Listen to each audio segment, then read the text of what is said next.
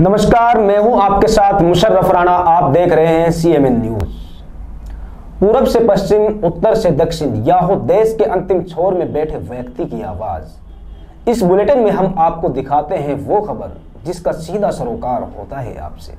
तो चलिए शुरुआत करते हैं इस वक्त की बड़ी खबर के साथ। सुंदरसी थाना क्षेत्र के ग्राम उमरोद में मुखबिर की सूचना पर चंदन के पेड़ काटते हुए तीन चोरों को रंगे हाथ पकड़ा गया है। इन चोरों को पकड़ने में मुख्य भूमिका थाना थाना प्रभारी उदय सिंह के अलावा उप निरीक्षक आज़ाद सिंह चौधरी और समस्त स्टाफ का महत्वपूर्ण योगदान रहा।